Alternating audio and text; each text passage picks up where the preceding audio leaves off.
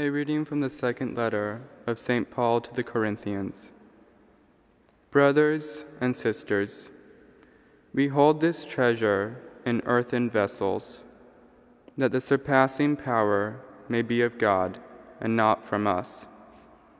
We are, we are afflicted in every way, but not constrained, perplexed, but not driven to despair, persecuted, but not abandoned struck down but not destroyed, always carrying about in the body the dying of Jesus, so that the life of Jesus may also be manifested in our body. For we who live are constantly being given up to death for the sake of Jesus, so that the life of Jesus may be manifested in our mortal flesh. So death is at work in us, but life in you.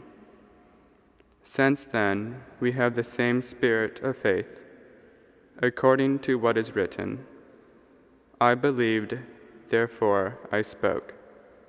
We too believe, and therefore speak, knowing that the one who raised the Lord Jesus will raise us also with Jesus, and place us with you in his presence.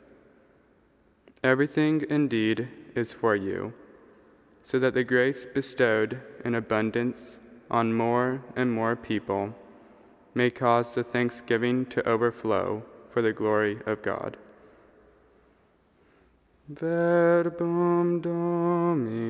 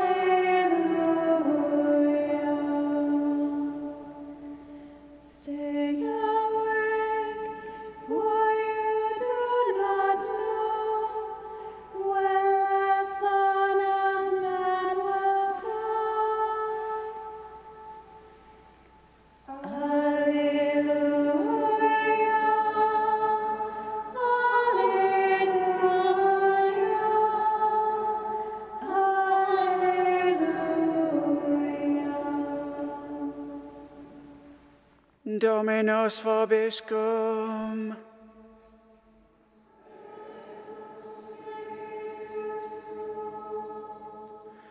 Lectio Sancti Evangelii secundum Matthaeum.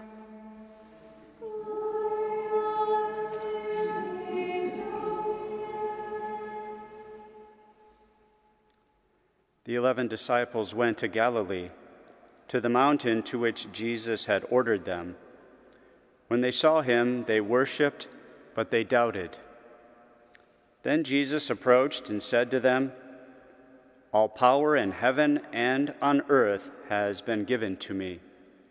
Go therefore and make disciples of all nations, baptizing them in the name of the Father and of the Son and of the Holy Spirit teaching them to observe all that I have commanded you.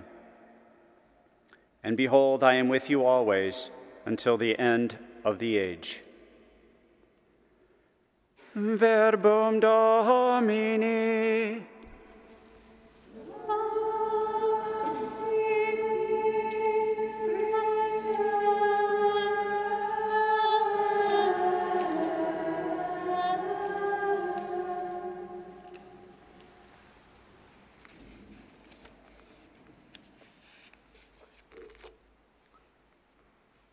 Before we begin, just a quick note. Masses will be televised from the Shrine of the Most Blessed Sacrament for the week of October 17th only. Masses will then be televised from the chapel at EWTN in Irondale, Alabama thereafter.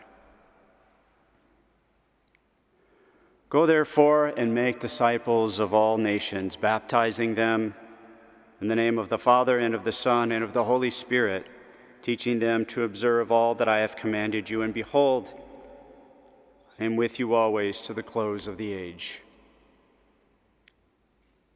Today in the Gospel, Jesus instructs his apostles to go forth, to proclaim the gospel, to make disciples of all nations, and to baptize them. This passage, the Great Commission, found in St. Matthew's Gospel underpins a number of the church's beliefs about herself. Consequently, having been sent out by Christ on mission to the whole of the human race, the church, we know, is Catholic or universal, which is one of the four marks of the church. In like manner, as the convocation or assembly of all men for salvation. The church, in her very nature, is missionary, sent by Christ to all the nations to make disciples of them. Hence, the church, excuse me, hence, the church is called to preach the gospel to all peoples of every time and place and to make disciples of them all. We see this lived out in a special way in the lives of those men whose feast day we celebrate today. Today in the United States of America, we celebrate the glorious feast day of Saints John de Brebeuf, Isaac Jogues, and their companions. Saint Anthony Daniel, Gabriel Lallement, Charles Garnier, Noel Chabanel, René Goupil, and Jean de Lalande. These French Jesuit and Oblate missionaries were martyred in what is now Auriesville, New York, in the 17th century, between 1642 and 1649, for attempting to carry out Christ's mandate to preach the gospel to the Hurons and Iroquois of North America. This group of eight Jesuit missionaries battled some of the most difficult living conditions imaginable and died under the most gruesome tortures ever conceived. In fact, even taking into account the early martyrs of the church, the tortures these men suffered can be considered some of the most barbaric and demonic like tortures of any of those suffered by any of the martyrs in the history of the church. All of this they suffered out of their love for Christ. They believed in the call of their vocations to serve Christ and His church, no matter how difficult. And they loved God and their neighbor to such an extent that they were willing to give their lives for them. None of this, however, could ever have been accomplished without God's grace and providence. Interesting to note, as has been revealed by their hagiographers, ten years after the martyrdom of St. Isaac Jogues, Kateri Tekakwitha was born in the same village in which he died. He was canonized in 1930. She, the lily of the Mohawks, was beatified 50 years later and subsequently canonized in 2012. As Tertullian correctly wrote with great insight in 197 AD, the blood of martyrs is the seed of the church. In this case, where the blood of one saint watered the ground, another saint, a lily in this case, blossomed. We celebrate the feast day of Saint Kateri Tekakwitha on July 14th every year.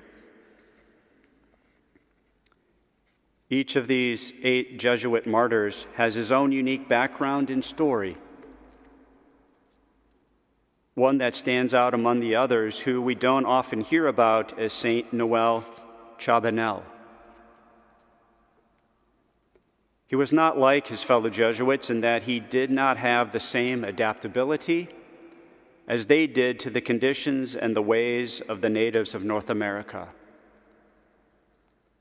He could not learn the language and found everything, including the food, revolting.